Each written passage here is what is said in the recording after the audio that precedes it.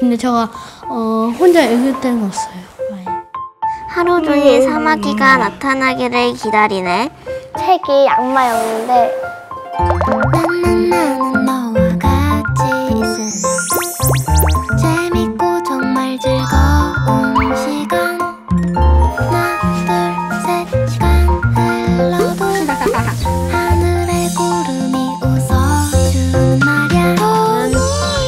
말도 덧붙였다. 좀 더 다양하게 읽고 있는 것 같아요.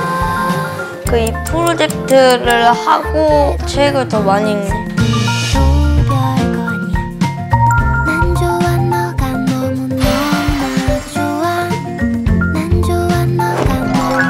안녕.